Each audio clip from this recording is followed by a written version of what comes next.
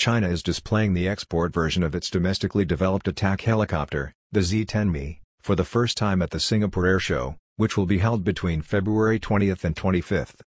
Handles on X, formerly Twitter, showed the Z-10ME at the static display in a desert light brown and green color scheme.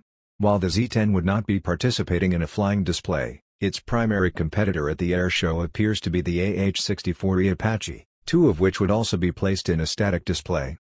One aircraft would be from the U.S. Army, while the other Apache is an AH-64D from the Republic of Singapore Air Force.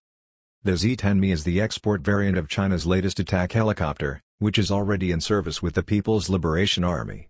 It has a range of roughly 1,120 kilometers and an empty weight of around roughly 5,100 kilograms. It fires a 23mm chin-mounted cannon and four external hardpoints that can hold air-to-ground, air-to-air, and rocket launchers. Both the left and the right-hand side weapon stubs can carry up to 16 anti-tank guided missiles, four multiple 7-barrel rocket launchers, or two multiple 32-barrel rocket launcher pods, depending on the nature of the mission. The Z-10ME also features what looks like missile approach warning sensors on the side chin, under the weapon stubs, a sand filter for the engine intakes, and heavier armor to withstand small arms fire.